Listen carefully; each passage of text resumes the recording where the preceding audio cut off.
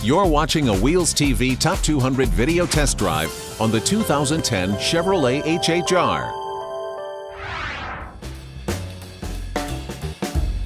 The 2010 Chevrolet HHR is a funky, fun-loving tribute to the 1949 Chevrolet Suburban. Arguably the vehicle that broke the mold and created the earliest building blocks for today's sport utility vehicles.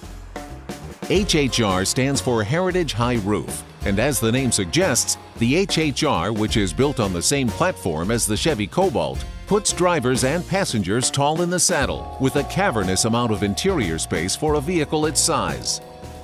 Comparisons to Chrysler's PT Cruiser are unavoidable, but Chevy has given the HHR its own unique personality and configuration, making it anything but derivative. The HHR is available in three trims, LS, LT, and the Super Sport, otherwise known as SS. The LS and LT come with a 2.2-liter inline-four that puts out 155 horsepower and 150 pound-feet of torque. The LT is also available with a 172 horsepower 2.4-liter inline-four. The SS model comes with a turbocharged 2-liter inline-4 that puts out 260 horsepower and 260 pound-feet of torque.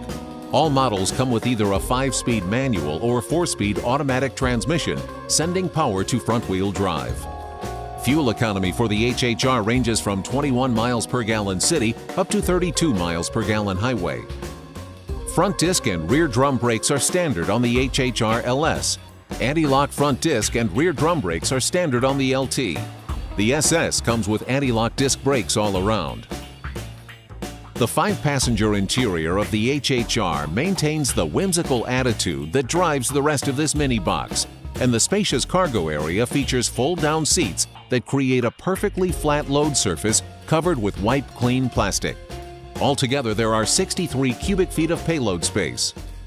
Initial base MSRP for the 2010 Chevrolet HHR is $18,720. A fully loaded SS model can crack the $30,000 mark. The HHR is backed by a 5-year 100,000-mile powertrain warranty.